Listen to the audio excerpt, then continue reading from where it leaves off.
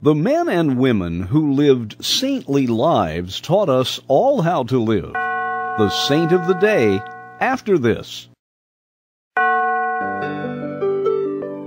A French priest named Eustace is remembered with a special day every September 7th. For many years he served as a liaison between the Pope and his native nation.